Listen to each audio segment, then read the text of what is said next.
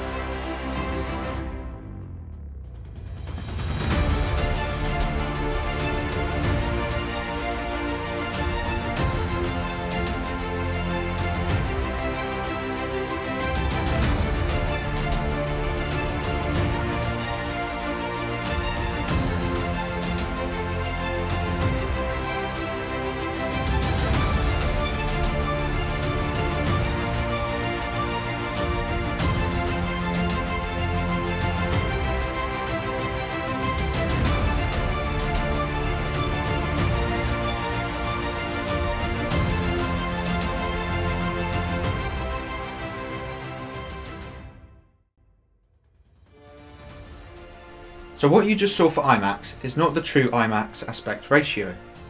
The proper aspect ratio is 1.43 to 1 or 4 by 3. That is what you see in an IMAX screening of a film. However, it is cropped down to fit our 1.9 to 1 or 16 by 9 TV screens.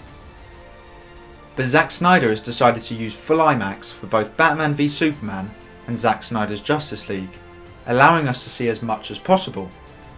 This has been quite controversial as many people do not like this aspect ratio with the black bars on the side.